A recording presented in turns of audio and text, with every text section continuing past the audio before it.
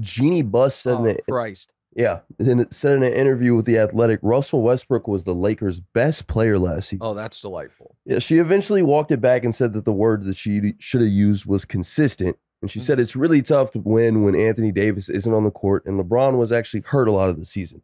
But Russ showed up every game and played as hard as he could every night. Yeah. Is she actually backing Russ or is she trying to increase his trade value? I listen with Jeanie Buss. You never know.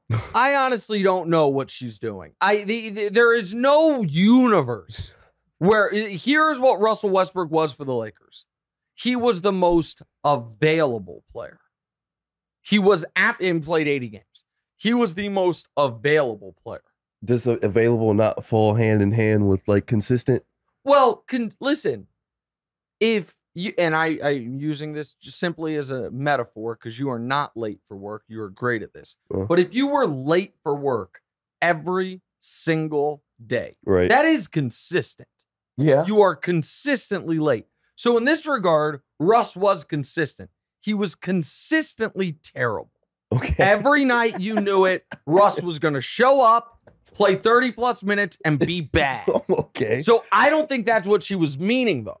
And when calling him their like, best oh, he player, was here. he was here and bad. Call, calling him their best player is an absurdity. Le- LeBron was sensational last year. Yeah. LeBron was 38 and 6 on better than 50% from the field. Look, now he missed 20 games. He missed a quarter of the season. That's a problem. Right. And that's why LeBron wasn't the best forward or the if LeBron had put up those numbers and played 75 games, he would have been the second best forward in the league last year behind Giannis. right. It would have been Giannis then LeBron. Because he did miss those games, one could argue Tatum was better. Some are, you know, Durant missed a bunch of games too. Durant's numbers were similar. Right. You're like, because he missed those games, that's why you knock him down a peg. But Russ was below Russ was a hindrance to winning when he was on the court. Yeah. You would have been better off with just a random bench player. And so Dude, the- what?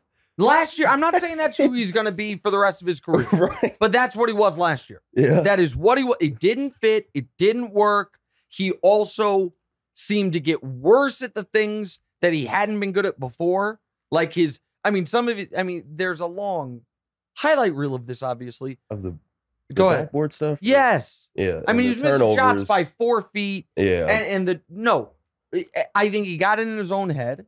And I think that was a problem for him. Like, I don't think Russ is done as an NBA player. I'm not arguing that. But it shouldn't be debatable what he was last year. So why would Jeanie Buss say this?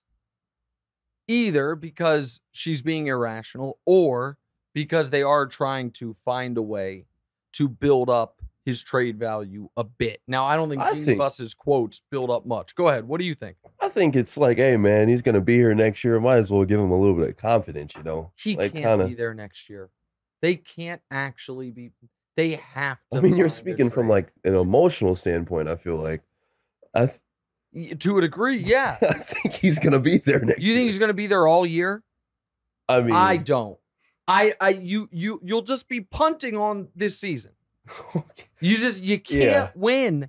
Now, if Russ would, it all depends on how the start of the season goes. Like, the, I feel like the only knowledge that we have is of what Russ did last year. that's fair. We have no idea how I feel like these players are gonna mesh this coming year. What they've done during the offseason, but No, that's fair. I just don't. Russ doesn't seem like he's going to change, and Russ needs to be on a team that he is the focal point of, that he has the ball in his hands. Because when when he is that, you get the good of him. yeah, The good of him is the energy, the intensity, he, he the freedom for him to drive to the basket, definitely have a point. and there. you still deal with the bad, but at least you get the good. When Russ is your third option, you get the bad, the lackadaisical defense, the lack of spacing, all that stuff, without the good. right. And that was the problem, which is why I argued all year have him be the super sixth man, lead the bench unit.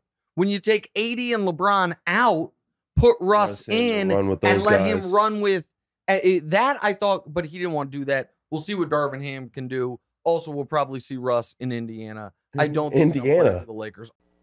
Hey, thanks for watching. Hit the subscribe button to get more from the show and make sure to click the bell to get notified every time new content drops. Check out full episodes of What's Wright wherever you get your podcasts, or just click the link in the description below.